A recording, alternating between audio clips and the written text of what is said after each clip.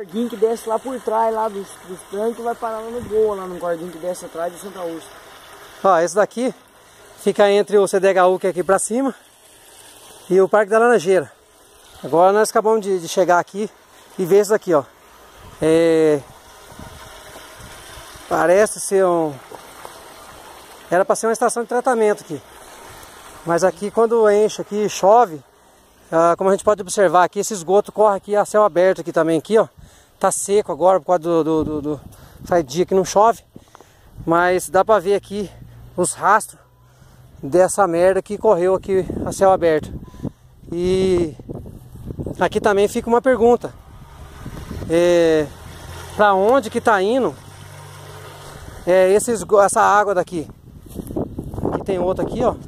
Ai, ai. Aqui tem outra aqui. Aqui tem uma outra casinha ali, ó. Quer dizer, é, essa água daqui sai daqui e provavelmente é aquela água preta que a gente filmou, que foi lá para baixo, que corre aqui nessa, nesse lago do que percorre aqui a grota da, da do Parque da Laranjeira. A gente filmou e desceu até lá embaixo lá, ah, como podemos é, vemos nos outros vídeos.